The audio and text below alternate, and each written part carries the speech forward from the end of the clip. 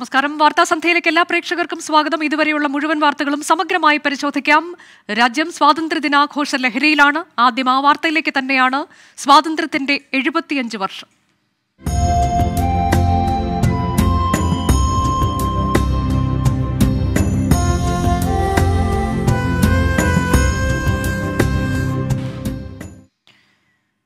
രാജ്യം എഴുപത്തിയഞ്ചാം സ്വാതന്ത്ര്യദിനാഘോഷങ്ങളുടെ നിറവിൽ ഇന്ന് വൈകിട്ട് ഏഴ് മണിക്ക് രാഷ്ട്രപതി ദ്രൗപതി മുർമു രാജ്യത്തെ അഭിസംബോധന ചെയ്യും. നാളെ രാവിലെ ഏഴ് മുപ്പതിന് ചെങ്കോട്ടയിൽ പ്രധാനമന്ത്രി നരേന്ദ്രമോദി പതാക ഉയർത്തും. പ്രധാനമന്ത്രി രാജ്യത്തെ അഭിസംബോധന ചെയ്യും. എഴുപത്തിയഞ്ചാം സ്വാതന്ത്ര്യദിനാഘോഷത്തിന്റെ നിറവിലാണ് രാജ്യം. ഒരുക്കങ്ങൾ അന്തിമഘട്ടത്തിൽ. രാഷ്ട്രപതിയായി ചുമതലയേറ്റ ശേഷമുള്ള ദ്രൗപതി മുർമുവിന്റെ ആദ്യ സ്വാതന്ത്ര്യ സന്ദേശമാണ് ഇന്ന് വൈകിട്ട് ഏഴ് മണിക്ക് നടക്കുക.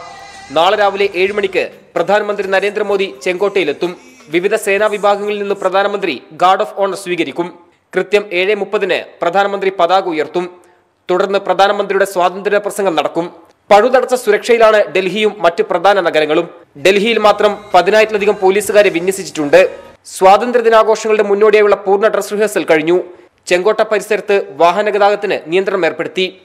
അത്യാധുനിക ക്യാമറകൾ നിരീക്ഷണത്തിൽ സ്ഥാപിച്ചു. വിമാനത്താവളങ്ങൾ മെട്രോ സ്റ്റേഷനുകളിലും റെയിൽവേ സ്റ്റേഷനുകളിലും സുരക്ഷ ശക്തമാക്കി.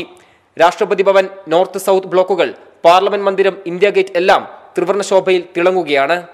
ട്വന്റി ഡൽഹി. സ്വാതന്ത്ര്യദിനത്തിന്റെ എഴുപത്തിയഞ്ചാം വാർഷികാഘോഷം പ്രൗഢഗംഭീരമാക്കാൻ തയ്യാറെടുത്ത് കേരളവും. നാളെ തിരുവനന്തപുരം സെൻട്രൽ സ്റ്റേഡിയത്തിൽ മുഖ്യമന്ത്രി പിണറായി വിജയനും ജില്ലാ ആസ്ഥാനങ്ങളിൽ മന്ത്രിമാരും ആഘോഷ പരിപാടികൾക്ക് നേതൃത്വം നൽകും. സഹജീവികളുടെ നന്മയ്ക്കും നാടിന്റെ പുരോഗതിക്കുമായിരിക്കണം നമ്മുടെ പ്രവൃത്തികളെന്ന് സ്വാതന്ത്ര്യദിന സന്ദേശത്തിൽ ഗവർണർ ആരിഫ് മുഹമ്മദ് ഖാൻ ആഹ്വാനം ചെയ്തു. സ്വാതന്ത്ര്യലബ്ധിക്കായി പോരാടി ജീവത്യാഗം ചെയ്ത മഹാത്മാക്കൾക്ക് ആദരവർപ്പിക്കാൻ എല്ലാവിധ തയ്യാറെടുപ്പുകളും പൂർത്തിയാക്കിയിരിക്കുകയാണ് കേരളം. ഹർഘർ തിരങ്ക കേരളം ഇന്നലെ തന്നെ ഏറ്റെടുത്തു. മന്ത്രിമന്ദിരങ്ങൾ തൊട്ട് സാധാരണക്കാരന്റെ വീടുകളിൽ വരെ ദേശീയ പതാക പാറുകയാണ്. നാളെ തിരുവനന്തപുരം സെൻട്രൽ സ്റ്റേഡിയത്തിൽ നടക്കുന്ന സ്വാതന്ത്ര്യദിനാഘോഷത്തിൽ മുഖ്യമന്ത്രി പിണറായി വിജയൻ ദേശീയ പതാക ഉയർത്തും. സെൻട്രൽ സ്റ്റേഡിയത്തിലേക്ക് നാളെ പൊതുജനങ്ങൾക്കും പ്രവേശനമുണ്ട്. രാജ്ഭവനിൽ ഗവർണറും നിയമസഭാ മന്ദിരത്തിൽ സ്പീക്കറും ദേശീയ പതാക ഉയർത്തും. തിരുവനന്തപുരം പാങ്ങോട് മിലിറ്ററി ക്യാമ്പിൽ വിപുലമായ ആഘോഷങ്ങൾക്ക് ഇന്നു തന്നെ തുടക്കമായി.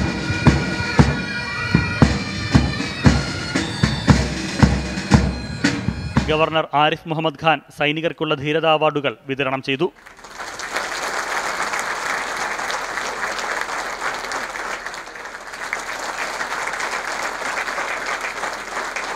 സ്വാതന്ത്ര്യത്തിന് വേണ്ടി ജീവൻ ബലിയർപ്പിച്ച ധീരദേശാഭിമാനികളുടെ ത്യാഗത്തിന്റെ ഫലമാണ് നാം അനുഭവിക്കുന്ന സ്വാതന്ത്ര്യവും അന്തസ്സുമെന്ന് സ്വാതന്ത്ര്യദിന സന്ദേശത്തിൽ ഗവർണർ ആരിഫ് മുഹമ്മദ് ഖാൻ പറഞ്ഞു. സ്വാതന്ത്ര്യ സമരത്തിൽ ജീവൻ ബലി അർപ്പിച്ച ധീരദേശാഭിമാനി കലെ നമുക്ക് ആദരത്തോടെ ഓർക്കാം.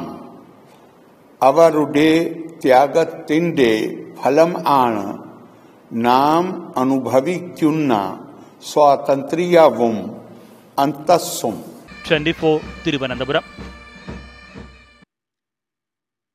സ്വാതന്ത്ര്യ ദിനത്തോടനുബന്ധിച്ചുള്ള രാഷ്ട്രപതിയുടെ പോലീസ് മെഡലുകൾ പ്രഖ്യാപിച്ചു. വിശിഷ്ട സേവനത്തിനുള്ള രണ്ടും സ്തുത്യർഹ സേവനത്തിനുള്ള പത്തും അടക്കം കേരള പോലീസിന് പന്ത്രണ്ട് മെഡലുകളുണ്ട്. ആയിരത്തി എൺപത്തിരണ്ട് ഉദ്യോഗസ്ഥരാണ് ഇത്തവണ പുരസ്കാരത്തിന് അർഹരായത്. ധീരത വിശിഷ്ട സേവനം സ്തുത്യർഹ സേവനം എന്നിങ്ങനെ മൂന്ന് വിഭാഗങ്ങളിലായുള്ള രാഷ്ട്രപതിയുടെ പോലീസ് മെഡലുകൾക്ക് ഇത്തവണ ആയിരത്തി എൺപത്തിരണ്ട് പേർ അർഹരായി. കേരള പോലീസിൽ നിന്നും A D G P Manoj Abraham A C P Biji ജോർ താന്നിക്കോട് എന്നിവർക്ക് വിശിഷ്ട സേവനത്തിനുള്ള മെഡൽ ലഭിച്ചു. സ്തുത്യർഹ സേവനത്തിനുള്ള മെഡലിന് കേരള പോലീസിൽ നിന്നും പത്ത് പേർ അർഹരായി.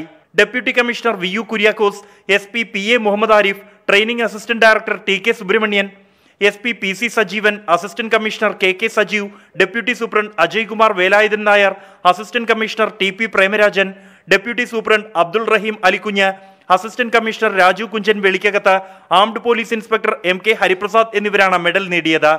സി ആർ പി എഫിൽ നിന്നും നൂറ്റി എഴുപത്തിയൊന്ന് പേർക്ക് പുരസ്കാരം ലഭിച്ചു. ജമ്മു കശ്മീർ പോലീസിൽ നിന്നും നൂറ്റിയെട്ട് ഉദ്യോഗസ്ഥർ ധീരതയ്ക്കുള്ള പുരസ്കാരം നേടി. Twenty four Delhi. സ്വാതന്ത്ര്യ സമര സേനാനികളുടെ പട്ടികയിൽ നിന്ന് ജവഹർലാൽ നെഹ്റുവിനെ ഒഴിവാക്കി കർണാടക സർക്കാർ. ആസാദി കാ അമൃത് മഹോത്സവത്തിന്റെ ഭാഗമായി നൽകിയ പത്രപരസ്യത്തിൽ നിന്നാണ് നെഹ്റുവിനെ ഒഴിവാക്കിയത്. കർണാടകത്തിലെ സ്വാതന്ത്ര്യ സമര നായകരുടെ പട്ടികയിൽ നിന്ന് ടിപ്പു സുൽത്താനെയും ഒഴിവാക്കി. പ്രധാന ദേശീയ മാധ്യമങ്ങളിൽ വന്ന പത്രപരസ്യത്തിൽ നിന്നാണ് രാജ്യത്തിന്റെ പ്രഥമ പ്രധാനമന്ത്രി ജവഹർലാൽ നെഹ്റുവിനെ ഒഴിവാക്കിയത്. സവർക്കറുടെ ഉൾപ്പെടെയുള്ള ചിത്രങ്ങൾ ഉൾപ്പെടുത്തിയിട്ടുമുണ്ട്. ചിത്രം ഉൾപ്പെടുത്താത്തത് സംബന്ധിച്ച് സർക്കാർ ഇതുവരെയും പ്രതികരിച്ചിട്ടില്ല. കഴിഞ്ഞ രണ്ട് ദിവസങ്ങളിലായി ചിത്രങ്ങളെ ചൊല്ലി കർണാടകയിൽ വിവാദങ്ങൾ നിലനിൽക്കുന്നുണ്ട്. ശിവമോഗയിൽ സ്വാതന്ത്ര്യദിനാഘോഷങ്ങൾക്കിടെ സവർക്കറുടെ ചിത്രം പ്രദർശിപ്പിച്ചതിൽ ഒരു സംഘം പ്രതിഷേധിച്ചിരുന്നു. ഷോപ്പിംഗ് മാളിലായിരുന്നു സ്വാതന്ത്ര്യ സമര സേനകൾക്കൊപ്പം സവർക്കറുടെ ചിത്രവും സ്ഥാപിച്ചത്. മാളിന് മുന്നിൽ പ്രതിഷേധിച്ച നാല് യുവാക്കളെ പോലീസ് കസ്റ്റഡിയിലെടുത്തു. ഇവരെ മോചിപ്പിക്കണമെന്നാവശ്യപ്പെട്ട് ഇന്നലെ രാത്രിയിലും പ്രതിഷേധമുണ്ടായി. ബംഗളൂരുവിലും മൈസൂരുവിലും ടിപ്പു സുൽത്താന്റെ ചിത്രമുള്ള ബോർഡുകൾ യുവമോർച്ച പ്രവർത്തകർ നശിപ്പിച്ചു. ബോർഡുകൾ കോൺഗ്രസ് സ്ഥാപിച്ചവയാണെന്ന് യുവമോർച്ച ആരോപിച്ചു. Twenty four Bengaluru. സ്വാതന്ത്ര്യത്തിന്റെ എഴുപത്തിയഞ്ചാം വാർഷികത്തിൽ സ്പിരിറ്റ് ഓഫ് ഫ്രീഡവുമായി ട്വന്റി ഫോർ കോഴിക്കോട് ബീച്ചിന് സമീപം ഇന്ന് രാവിലെ ആറ് നാൽപ്പത്തിയഞ്ചിന് ആരംഭിക്കുന്ന ഫ്രീഡം വാക്ക് തിരുവനന്തപുരത്ത് രാവിലെ ഏഴിന് കിഴക്കേക്കോട്ട ഗാന്ധി പാർക്കിൽ നിന്ന് ആരംഭിക്കുന്ന ഫ്രീഡം റൈഡ് കോഴിക്കോട് ബീച്ചിൽ വൈകിട്ട് ആറരയ്ക്ക് സ്വാതന്ത്ര്യ ജ്വാല ലൈറ്റ് ഓഫ് ഫ്രീഡം എന്നിവ ട്വന്റി ഫോറിന്റെ സ്വാതന്ത്ര്യദിന സവിശേഷതകളാണ്. ഈ പരിപാടികളിൽ പ്രേക്ഷകർക്കും പങ്കെടുക്കാം. പങ്കെടുക്കാൻ താൽപ്പര്യമുള്ളവർ അതത് വേദികളിൽ എത്തണം. വീടുകളിലോ പൊതുസ്ഥലങ്ങളിലോ സ്വാതന്ത്ര്യ ജ്വാല തെളിയിച്ച് ചിത്രങ്ങൾ twenty four light of freedom എന്ന ഹാഷ്ടാഗിൽ സോഷ്യൽ മീഡിയയിൽ പോസ്റ്റ് ചെയ്യാം.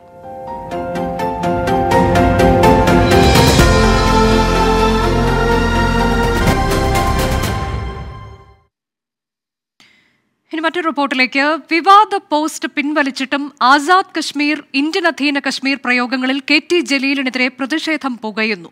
ജലീലിനെതിരെ രോഷാകുലനായി രംഗത്തെത്തിയ ഗവർണർ പോസ്റ്റിലെ പരാമർശങ്ങൾ അപ്രതീക്ഷിതമെന്ന് തോന്നുന്നില്ലെന്ന് തുറന്നടിച്ചു. ജലീലിന്റേത് വിഘടനവാദമെന്ന് കേന്ദ്രമന്ത്രി വി മുരളീധരനും മുഖ്യമന്ത്രി ജലീലിനെ തള്ളിപ്പറയാത്തത് എന്തുകൊണ്ടെന്ന് കെ സി വേണുഗോപാലും ആരാഞ്ഞു. അതേസമയം പരാമർശം പിൻവലിച്ച സാഹചര്യത്തിൽ വിവാദങ്ങൾ അവസാനിച്ചുവെന്നാണ് കെ ടി ജലീലിന്റെ നിലപാട്. സി പി ഐ എം ഇടപെടലിൽ വിവാദ പോസ്റ്റ് പിൻവലിച്ചെങ്കിലും പ്രതിപക്ഷം കെ ടി ജലീലിനെ വിടാതെ പിന്തുടരുകയാണ്. പ്രതിഷേധക്കാരുടെ നിരയിൽ ഗവർണർ കൂടി ചേർന്നതോടെ വിഷയത്തിന്റെ ഗൗരവം വർദ്ധിച്ചു. ജലീലിനെതിരെ രോഷാകുലനായി രംഗത്തെത്തിയ ഗവർണർ പോസ്റ്റിലെ പരാമർശങ്ങൾ അപ്രതീക്ഷിതമെന്ന് തോന്നുന്നില്ലെന്ന് തുറന്നടിച്ചു. വിവാദ പരാമർശങ്ങൾ എങ്ങനെ അംഗീകരിക്കാൻ സാധിക്കുമെന്നും governor I wonder these these comments were after going through some literature, after knowing something, or just out of ignorance. I do not know. But I feel very sorry for these kind of comments. ജലീലിന്റേത് വിഘടനവാദമെന്ന് കേന്ദ്രമന്ത്രി V മുരളീധരനും മുഖ്യമന്ത്രി ജലീലിനെ തള്ളിപ്പറയാത്തതെന്തെന്ന് K C വേണുഗോപാലും പ്രതികരിച്ചു അദ്ദേഹം ഒരു ഒരു എന്താ ഒരു അൺകണ്ടീഷണൽ നിരുപാധികമുള്ള പിൻവലിക്കലല്ല അദ്ദേഹം തന്നെ പറഞ്ഞിരിക്കുന്നത് ഞാൻ ഇൻവേർട്ടഡ് കോമയിലായിട്ടത് അത് മനസ്സിലാക്കാത്ത ആളുകളാണ് ഈ പ്രശ്നം ഉണ്ടാക്കുന്നത് എന്നൊക്കെയാണ്. മിസ്റ്റർ പിണറായി വിജയൻ രാജ്യസ്നേഹത്തിന്റെ കണികൾ നിങ്ങളുടെ അംശമുണ്ടായിരുന്നുവെങ്കിൽ നിങ്ങൾ തള്ളിപ്പറയില്ലായിരുന്നോ കെ ടി ജലീലിനെ? നിങ്ങൾ ഒരു അക്ഷരം പറഞ്ഞോ? ഇതിനിടെ K T ജലീലിനെതിരെ A B V P Thiruvananthapuram city police കമ്മീഷണർക്ക് പരാതി നൽകി. അതേസമയം വിവാദങ്ങൾക്കിടെ കെ ടി ജലീൽ നാട്ടിലേക്ക് മടങ്ങിയെത്തി. പരാമർശം പിൻവലിച്ച സാഹചര്യത്തിൽ വിവാദങ്ങൾ അവസാനിച്ചെന്നാണ് ജലീലിന്റെ നിലപാട്.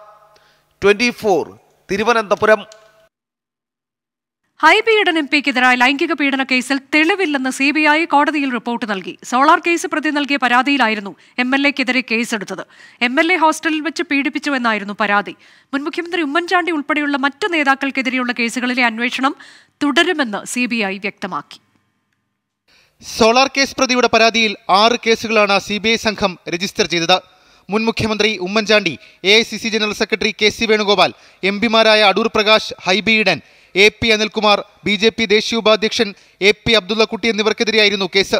ഇതിൽ ഹൈബിയുടെതിരായ കേസിലാണ് C B I Thiruvananthapuram unit കോടതിയിൽ റിപ്പോർട്ട് സമർപ്പിച്ചത്. രണ്ടായിരത്തി പന്ത്രണ്ട് ഡിസംബർ ഒൻപതിന് സോളാർ പദ്ധതിയെക്കുറിച്ച് ചർച്ച ചെയ്യാൻ എം എൽ എ ഹോസ്റ്റലിലെത്തിയപ്പോൾ നിള ബ്ലോക്കിലെ മുപ്പത്തിനാലാം നമ്പർ മുറിയിൽ പീഡിപ്പിക്കപ്പെട്ടെന്നായിരുന്നു പരാതി. പരാതിക്കാരിയുടെ മൊഴിയുടെ അടിസ്ഥാനത്തിൽ എം എൽ എ ഹോസ്റ്റലിലടക്കം തെളിവെടുപ്പ് നടത്തിയിരുന്നു. രണ്ട് തവണ ഹൈബിയെ വിളിച്ചു വരുത്തി ചോദ്യവും ചെയ്തു. ബലാത്സംഗ കേസിൽ തെളിവ് കണ്ടെത്താനായില്ലെന്നും കേസിലെ പരാതിക്കാരിക്കും തെളിവ് നൽകാൻ കഴിഞ്ഞില്ലെന്നുമാണ് സി കോടതിയിൽ സമർപ്പിച്ച റിപ്പോർട്ടിൽ പറയുന്നത്. പരാതിക്കാരുടെ മൊഴിയിൽ വൈരുദ്ധ്യമുണ്ടെന്നും സി ബി റിപ്പോർട്ടിലുണ്ട്. കേരള പോലീസിന്റെ പ്രത്യേക സംഘത്തിനും ഹൈബിയുടെ നമ്പിക്കെതിരെ തെളിവ് കണ്ടെത്താനായിരുന്നില്ല. അതേസമയം മറ്റു കേസുകളിൽ അന്വേഷണം തുടരുകയാണെന്നും സി ബി ഐ വ്യക്തമാക്കി. രാഷ്ട്രീയ കോളിളക്കമുണ്ടാക്കിയ സോളാർ പീഡന കേസിൽ സി ബി ഐയുടെ നാടകീയ നീക്കം ഹൈബീഡന വലിയ ആശ്വാസമായിരിക്കുകയാണ്. Twenty four Thiruvananthapuram. രാജസ്ഥാനിൽ കുടിവെള്ള പാത്രത്തിൽ തൊട്ടതിന് അധ്യാപകന്റെ മർദ്ദനമേറ്റ ദളിത് വിദ്യാർത്ഥി മരിച്ച സംഭവത്തിൽ രാജസ്ഥാനിൽ സംഘർഷ സാഹചര്യം തുടരുന്നു.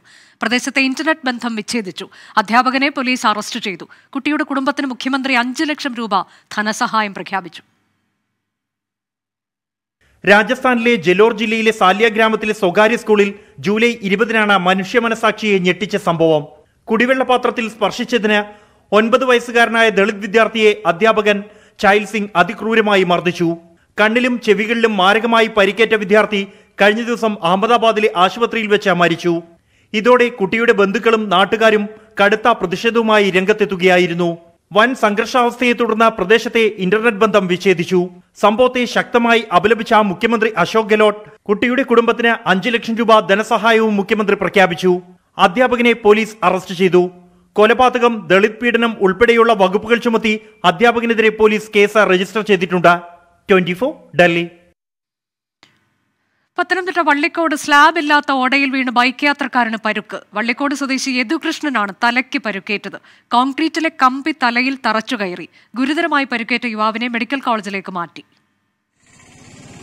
ചന്ദനപ്പള്ളി കോന്നി റോഡിൽ രാവിലെ പതിനൊന്ന് മണിയോടെയായിരുന്നു സംഭവം. ഓട നിർമ്മാണത്തിന് പിന്നാലെ ഇവിടെ സ്ലാബ് ഇട്ടിരുന്നില്ല. നിയന്ത്രണം തെറ്റി ബൈക്ക് ഓടയിലേക്ക് മറിയുകയായിരുന്നു. യുവാവിന്റെ തലയ്ക്ക് ഗുരുതരമായി പരിക്കേറ്റിട്ടുണ്ട്. റോഡിലെ ഓടയ്ക്ക് സ്ലാബ് ഇടണമെന്ന് നാട്ടുകാർ നിരന്തരം ആവശ്യപ്പെട്ടിരുന്നെങ്കിലും നടപടി ഉണ്ടായില്ലെന്നാണ് പരാതി. നല്ലൊരു റോഡായിരുന്നു ഇത്. വെള്ളക്കെട്ടിന്റെ പേരിൽ വെട്ടിപ്പൊളിച്ച് ഇത് പുതിയ രീതിയിൽ ഉണ്ടാക്കിയിട്ട് ഒന്നും ചെയ്യാതെ ഓട നികത്താതോ അതിനെ സ്ലാബ് ഇടുവോ ഒന്നും ചെയ്യാതെ അശാസ്ത്രീയമായി ചെയ്ത ഒരു സംഭവമാണിത്. ഇതിന്റെ പേരിൽ ഒരുപാട് പേർക്ക് അപകടങ്ങളും ആക്സിഡന്റുകളും സംഭവിച്ചു. നിലവിലിപ്പോൾ ഓട മൂടികളൊന്നും ഇട്ടിട്ടില്ല. ഇവിടുന്ന് മേളറ്റം മുതൽ ഇവിടെ താഴെ ഇവിടെ വരെ മൂടിയിട്ടില്ല. ഇവിടുന്ന് അങ്ങോട്ടൊന്നും മൂടിയിട്ടിട്ടില്ല. അപ്പോൾ പണി പകുതി കൊണ്ട് നിർത്തി വെച്ചിട്ട് പോയിരിക്കുകയാണ്. നാട്ടുകാരിടപെട്ട് യദുകൃഷ്ണനെ തിരുവല്ലയിലെ സ്വകാര്യ ആശുപത്രിയിൽ എത്തിച്ചെങ്കിലും മെഡിക്കൽ കോളേജിലേക്ക് മാറ്റി. സംഭവസ്ഥലത്ത് അപകടം പതിവാണെന്നാണ് നാട്ടുകാർ പറയുന്നത്. ട്വന്റി പത്തനംതിട്ട. ആലപ്പുഴ ദേശീയപാതയിലെ അപകട മരണത്തിൽ അലക്ഷ്യമായി ബസ് പാർക്ക് ചെയ്ത ഡ്രൈവർക്കെതിരെ കേസ്. മനഃപൂർവമല്ലാത്ത നരഹത്യക്കാണ് ഡ്രൈവർ ഋഷികുമാറിനെതിരെ കേസെടുത്തത്. സംഭവത്തിൽ കളക്ടർ തഹസിൽദാറോട് റിപ്പോർട്ട് തേടി. ഇന്നലെ വൈകിട്ടാണ് പുന്നപ്ര സ്വദേശി അനീഷ് കുമാർ ദേശീയപാതയിൽ കുറുവൻതൂട് വെച്ചുണ്ടായ അപകടത്തിൽ മരിച്ചത്. റോഡിലെ കുഴി കണ്ട് ബൈക്ക് വെട്ടിച്ചപ്പോൾ അലക്ഷ്യമായി പാർക്ക് ചെയ്തിരുന്ന ബസ്സിലിടിച്ച ലോറിക്കടിയിൽപ്പെട്ടായിരുന്നു അപകടം. വണ്ടി കുഴിയിൽ വീഴാതിരിക്കാൻ വേണ്ടി വെട്ടിച്ച വഴി വണ്ടിയിൽ തട്ടുകയായിരുന്നു. മറ്റു വണ്ടിയുമായിട്ട് വേറൊരു വണ്ടിയായിട്ട് വരഞ്ഞു അങ്ങനെയാണ് മരണം സംഭവിച്ചത്. റോഡിലെ കുഴി കാരണം പല സ്ഥലത്തും ഭയങ്കരമായ ബ്ലോക്കുകളും അപകടങ്ങളും ഉണ്ടായിക്കൊണ്ടിരിക്കുകയാണ്.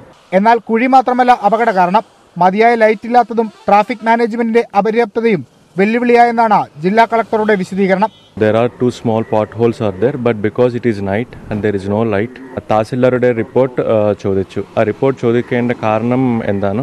ഫസ്റ്റ് എന്തുകൊണ്ട് ഇങ്ങനെ ഒരു ആക്ഷൻ സംഭവിച്ചു? So that we can avoid such accidents in the future Ambalappuzha മുതൽ കായംകുളം വരെയുള്ള ദേശീയപാതയിലെ കുഴികൾക്ക് ഉടൻ പരിഹാരം കാണും. വീഴ്ച വരുത്തുന്ന ഉദ്യോഗസ്ഥർക്കെതിരെ കർശന നടപടിക്ക് ശുപാർശ ചെയ്യുമെന്നും ജില്ലാ കളക്ടർ വ്യക്തമാക്കി. ട്വന്റി ആലപ്പുഴ. കൊച്ചി കൊലപാതകത്തിൽ മൂന്ന് പേർ അറസ്റ്റിൽ. പനങ്ങാട് സ്വദേശികളായ ഹർഷാദ് തോമസ് സുധീർ എന്നിവരെയാണ് അന്വേഷണ സംഘം പിടികൂടിയത്. ഇന്ന് പുലർച്ചെയായിരുന്നു വരാപ്പുഴ സ്വദേശി ശ്യാമിനെ കുത്തിക്കൊന്നത്. സൗത്ത് പാലത്തിന് സമീപമുള്ള കളത്തിപ്പറമ്പ് റോഡിലുണ്ടായ സംഘർഷത്തിനിടെയാണ് കൊലപാതകം നടന്നത്. ട്രാൻസ്ജെൻഡേഴ്സിനെ സമീപിച്ചതുമായി ബന്ധപ്പെട്ട തർക്കമാണ് കൊലപാതക കാരണമെന്നാണ് പോലീസ് പറയുന്നത്. അറസ്റ്റിലായ ഹർഷാദാണ് ഷ്യാമിനെ കുത്തിയതെന്ന് എറണാകുളം ഡി എസ് ശശിധരൻ പറഞ്ഞു. ഹർഷാദ് കയ്യിൽ കത്തി കരുതി വെച്ചിരുന്നു. പ്രതികളുടെ ക്രിമിനൽ പശ്ചാത്തലം പരിശോധിച്ചു വരികയാണെന്നും ഡി സി പി വ്യക്തമാക്കി. നമ്മൾ പരിശോധിച്ച് വരികയാണ്. ഞങ്ങളത് പരിശോധിച്ച് വരികയാണ്. വേറെ ഉണ്ടോ എന്ന് പരിശോധിച്ച് വരികയാണ്. സംഘർഷത്തിനിടയിൽ പരിക്കേറ്റ ശ്യാമിന്റെ സുഹൃത്ത് അരുണിന്റെ ആരോഗ്യനില തൃപ്തികരമാണ്. കൊച്ചി നഗരത്തിൽ ഒരാഴ്ചക്കിടെ ഉണ്ടാകുന്ന രണ്ടാമത്തെ സമാന സംഭവമാണിത്. നോർത്ത് സ്റ്റേഷന് സമീപവും വാക്ക് തർക്കത്തിനിടെ കൊലപാതകം നടന്നിരുന്നു. ഈ കേസിലെ പ്രതിയായ മുളവുകാട് സ്വദേശി സുരേഷിനായി പോലീസ് ലുക്കൌട്ട് നോട്ടീസ് പുറത്തിറക്കിയിട്ടുണ്ട്. ട്വന്റി കൊച്ചി. ഈ റിപ്പോർട്ടോടെ ഇന്നത്തെ വാർത്താ സന്ധ്യ അവസാനിക്കുകയാണ്. ഇനി കേരള സ്പെഷ്യൽ ഹൺഡ്രഡ് ന്യൂസുമായി പ്രഭിത ലക്ഷ്മി നമസ്കാരം.